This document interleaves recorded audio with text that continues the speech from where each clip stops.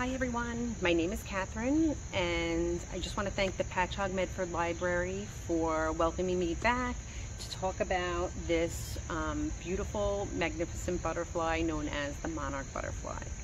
And what makes this monarch uh, butterfly so amazing is that it makes an epic migration, and I say epic because for a tiny little butterfly to fly about 3,000 miles down south to the mountains of Mexico to the Oyamel Fir Forest in Michoacan is quite an adventure.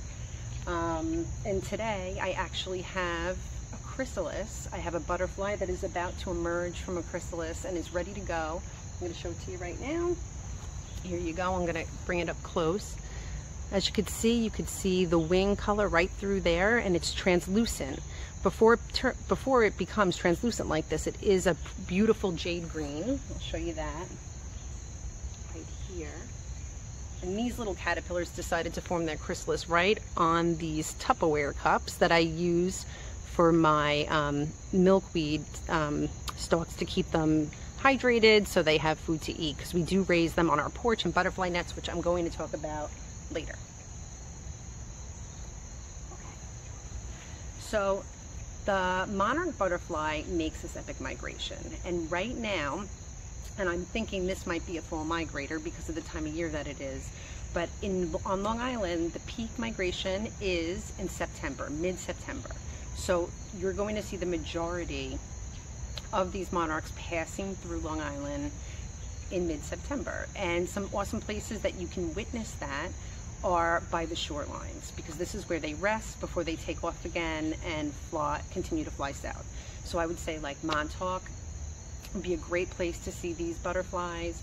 Um, Fire Island or even at our ferry terminal here in Patchogue would be an awesome spot to maybe witness some clustering monarch butterflies. And the best time to see that would be in the morning because monarchs don't fly during the nighttime. So what they'll do is they'll find a spot to cluster together um, and they will group together on a bush or a plant or a tree and then they will head back south. They'll head south, flying when the sun comes up and their wings are warm, and they'll continue on. So the best time of day to actually see a monarch butterfly uh, or a bunch of them together would be early morning, mid-September. Now, um, these butterflies are pretty fascinating because the fall migration they call a super generation of monarch. And they call it a super generation of monarch because these monarchs live from eight to nine months long, where your spring migrators heading north live about three to five weeks. The spring migrators only live a shorter period of time because their main job is to mate, to lay eggs, and then they die. And then those eggs will hatch into caterpillars and then form into butterflies, and then those butterflies will head north. And it takes five generations to get here, and that fifth generation which we usually see around now, is the generation that is going to make this incredible journey. Another difference between the spring and the fall migrators is that um, the fall migrators, their reproductive system is actually placed on like pause and they make this journey. There's no mating, there's no laying eggs. Their ultimate job is to fly, is to um, get enough nectar to fuel their journey and also enough nectar to store fat in order to overwinter at these sites in central Mexico. Now, one more thing I'm going to say is that this monarch has never been to Mexico. And it's basically like the great, great granddaughter or grandson of the one that left that overwintering spot to head north to lay those eggs before it died. Now, although it's never been to Mexico, it's just going to know to go there. And all the butterflies, whether they're from Canada or Ohio or wherever we they're coming from, um, they just know to go there. And I think that's pretty spectacular and makes this uh, butterfly just amazing. And I, I, me and my family have become very um, in love uh, with this butterfly.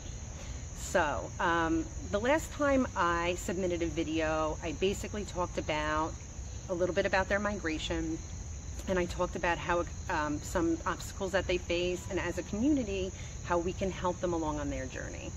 Um, so like I said, we can plant milkweed.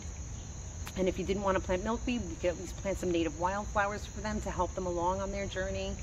Um, I my garden has become a monarch way station where I have plenty of milkweed, I have butterfly weed, I have lots of native wildflowers and shelter for them. Um, and it's it's a neat thing to be part of. And there's a monarch monarch watch site online where you can get information on how to go about doing that. Or you could always contact me if you're interested in creating a butterfly garden. I could help guide you on some great flowers to plant and um, things that you would need to do this. Um, so I'm gonna bring you down to my garden. I'm just gonna show you the milkweed that I do have. It's swamp milkweed.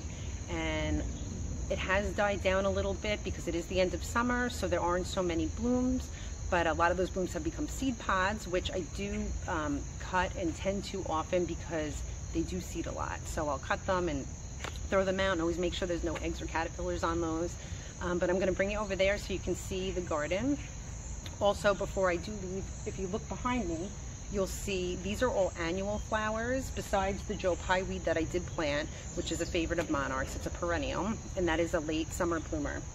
But behind me, we have zinnias and we have Mexican sunflowers, and they are favorites of monarchs as well as a lot of other butterflies. And um, they will not die until the first frost sets in. So you'll have these all the way into the fall. They stay beautiful just like this, and they're really easy to plant from seed right in the ground. So I would suggest planting those um, and they're easy to take care of. Um, okay, I'm gonna bring you down to my garden and hope that this guy doesn't emerge while we're there. Okay, so we're in my garden. I'm just gonna show you, we have some, um, here we have some succulent plants. I have some um, sage and catmint. Um, here you can see my, oh, like this, my echinacea is kind of dying off the flowers, but my black-eyed Susans are doing great. Here, because the last time you guys, everybody visited my garden, there were no flowers yet because it was super early. This is butterfly weed. They're beautiful orange flowers. Monarchs will lay their eggs on these as well. Here we have yellow flowers. And back here, we have our milkweed. So I have pretty much a large area of milkweed, which I tend to, and you don't need this much milkweed. A lot of this is because I didn't do so great on cutting those seed pods last year. Um, but basically, a monarch butterfly will lay its eggs on the bottom, of, on the underneath side of a milkweed leaf. And that egg will um, hatch in about three to five days and a tiny little caterpillar will emerge and that caterpillar is literally the size of a like a pin tip. Super tiny. Um, let me see if we can see if there's any eggs here. I do have some eggs to show you so I'm not going to start searching through the garden now. But um, I'm trying to see if we could see any of the flowers because really for most of the summer there are so many flowers in this garden. It's beautiful and they even have a oh here we go these are the flowers of the swamp milkweed. There's also a little paper wasp in there, which are predators of our uh, poor monarch caterpillars. Um, all right, I'm going to take you out of the garden and I'm going to show you some eggs and some caterpillars and show you the whole process and life cycle of this awesome butterfly. Okay, so I'm back here over by my station where I have lots of examples of eggs and caterpillars to show you. Um, so here I have a leaf, it's a milkweed leaf, and while I was going through the garden, I noticed, I don't know if you could see it, but there's a tiny little egg right there. It's a little white egg, and that egg is going to hatch in about three to five days. And we'll see a tiny little caterpillar, and when I say tiny, I mean tiny. I'm going to look for one right now. Oh, here we go. Oh my goodness. I don't even know if you're going to be able to see this guy. All right, let's see. Ah. Oh gosh, can you see him? There. See how tiny? Oh my goodness. The tiniest, tiniest little guy or girl. I'm not sure if it's a male or female, but that's how tiny they are when they start off. And now a caterpillar, what it does is it has growth stages, and those growth stages are um, basically we we know what growth stage they're in based on how many molts that they've had. So a caterpillar molts its skin; they shed. So the little um, the little guy there would be a new hatchling. You have a first instar, and it, they, they there's five instars. So it's first instar, second, third, fourth, and fifth. The fifth instar would be the biggest caterpillar that you have, and that caterpillar is the one that will um, end up leaving the milkweed and looking for a great spot to form a chrysalis. So here I have an image I took the other day of a caterpillar actually molting its skin and you can see the skin right behind it right there. That was probably a third instar caterpillar. And here I have an image that shows all the different sizes. So here we had tiny, like I just showed you. And then you have your second instar, your third, your fourth, and your fifth. And then this is the one that will end up leaving to form a chrysalis. And when it does this, it basically wanders away from its milkweed. And it can wander I don't know, even up to like 30 feet away from where it was, and it will form a chrysalis. And by doing this, it actually forms a silk button, which it will hang from. And it hangs in like a J position. And as it's hanging, it will hang there for about 24 hours before it sheds its last layer of skin. And that last layer exposes this beautiful jade colored chrysalis.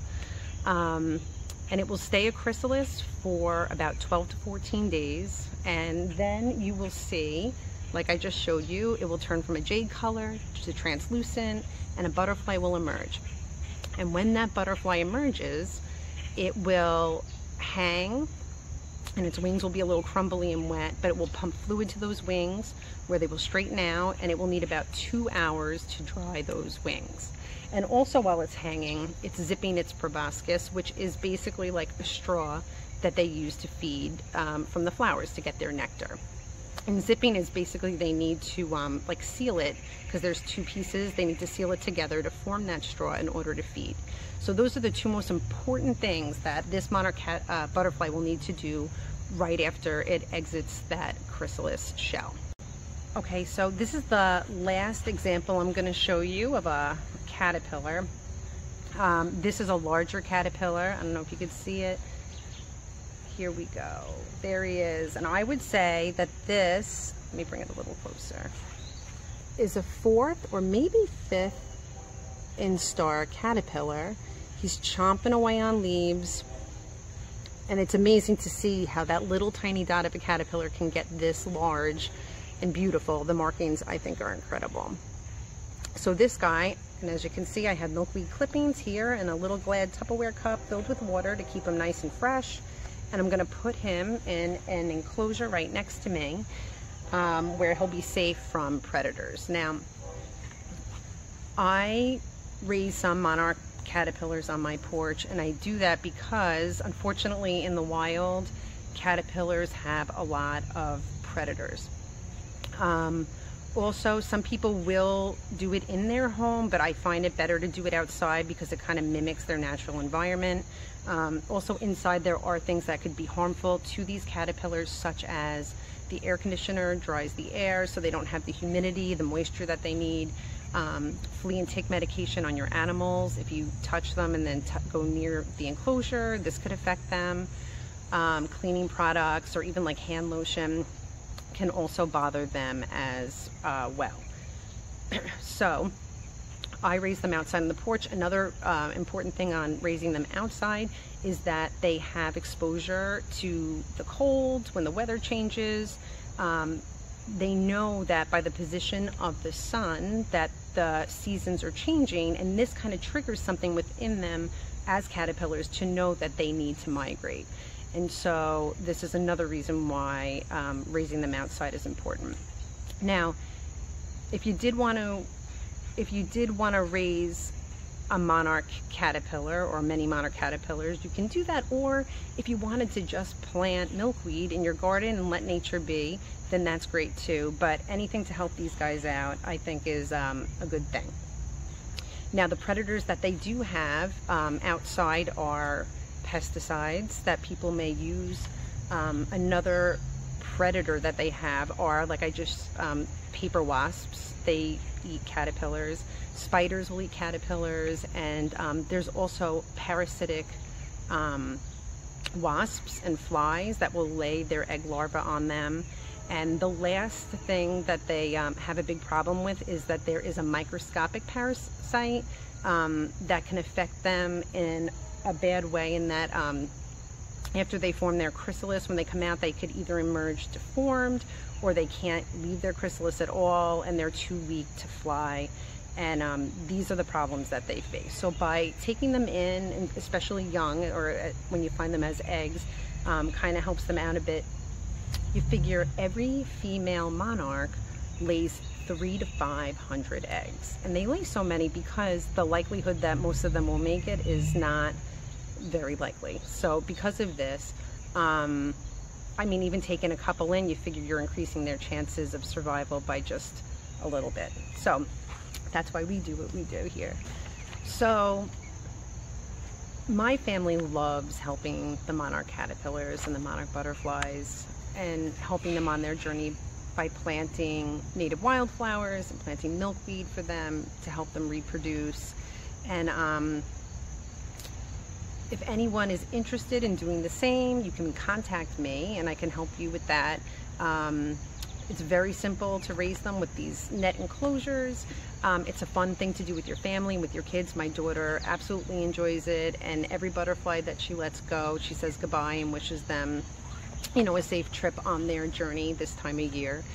And um, I think it's a great thing. They are, their numbers have decreased very much so over the years, and there are many reasons for that.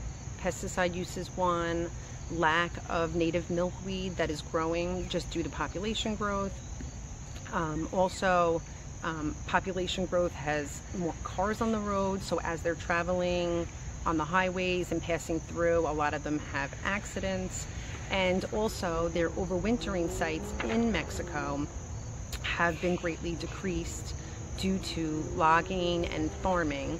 So um, that is also a big problem. So really anything we do, whether it's just planting native flowers, planting milkweed, or if you want to take care of them on your porch, any little bit helps. And um, if anyone wants to do this or needs help or needs advice, uh, you could either message me on my Instagram page, which is Patchogue Butterfly Patch, or um, you can contact the library and they can contact me or give my email to you but this is something that I find very important and we'd like to see them in the future and for our children to be able to enjoy them in the future as well. So thank you so much for your time and for listening. I hope I didn't go on too much. I had so much I wanted to say and share and I hope it was informative and um, not too much to take in. So thanks again. Um, thank you again. And I'm also going to pause this video and I'm going to wait for this little one to emerge so everybody can actually see a butterfly emerging from its chrysalis, drying its wings, and um, it's really such a beautiful thing to watch. So I'm gonna sit here and I'm gonna wait, and when this happens, I will turn the camera back on. Thanks.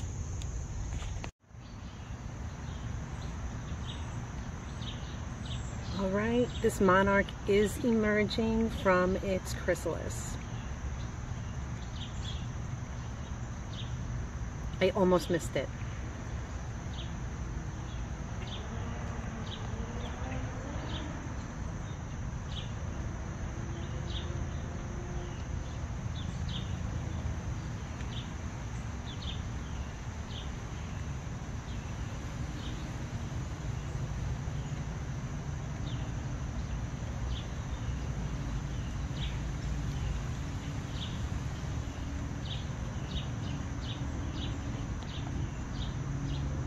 And what I'll do after it completely emerges is I will let it hang in an enclosure and it will need to dry its wings for about two hours.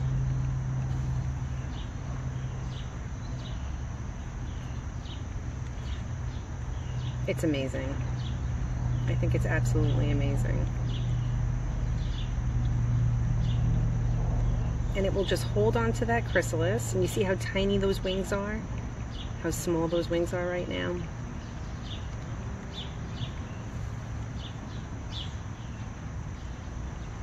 It will pump fluid to those wings, which will flatten them out and enlarge them. And I don't know if you can see that it's actually working on zipping that proboscis that it uses to feed as it hangs. It's really so incredible. I think I can pause it and I could show you afterward. I don't know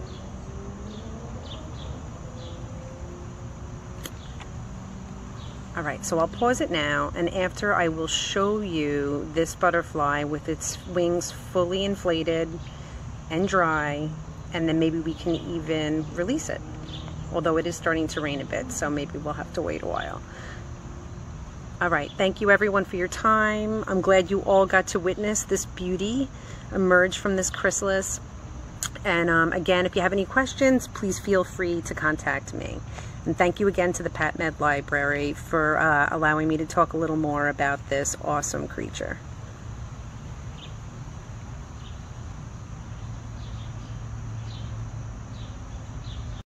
All right, so Lucy has brought our monarch that emerged earlier this morning um, out to a flower and it just flew onto you.